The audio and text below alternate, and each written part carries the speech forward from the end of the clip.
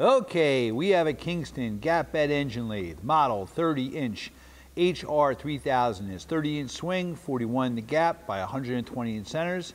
Serial number 3M011010G. Machine was new in 2013. We're gonna run her for you. Machine has inch metric threading, a four inch hole through the spindle, 4 and a 16th. Right now we're running at a low RPM. In reverse, it has from 8 to 800. That's the foot brake. It's forward. the machine also has a taper turning attachment, a 24 inch uh, four jaw chuck, a Newall digital readout. You have a Aloris DA quick change tool post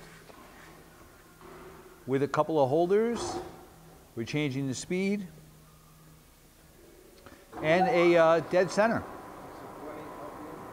This is 20. Yep, in the low range. Okay. That's your soft start that just kicked in. Machine also has a four jaw chuck attachment for the tailstock. Uh, so if you want to hold something heavy between centers, you can hold uh, between both, uh, both chucks. We've sped it up.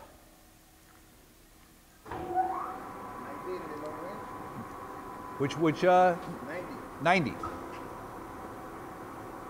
Okay?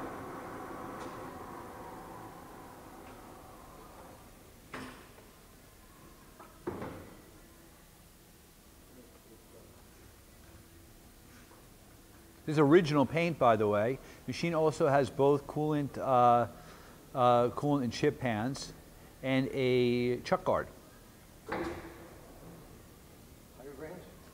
We're in the high range. Super quiet. We're gonna run some feeds. Right now it's the longitudinal feed. You can see it on the digital readout. Hold it, let it go. Let's see it. There we go. All right. And we're gonna go the other direction. Reverse from the carriage. You can see it on, wait, can show, show that again on the, uh, the handle? Thank you. That's forward and reverse of the longitudinal feed. Yep. That's rapid traverse. Yep. Rapid traverse the other direction. You can also again see it on the digital readout. Great. And we're going to do cross. That's the cross feed. And also, yep, and you can wrap it there too. Other, reversed it. And rapid and rapid. Okay.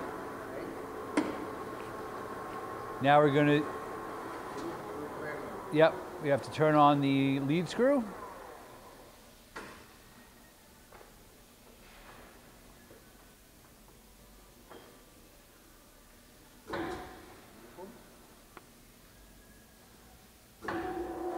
Lead screw is turning gauging the half nut, and we're threading.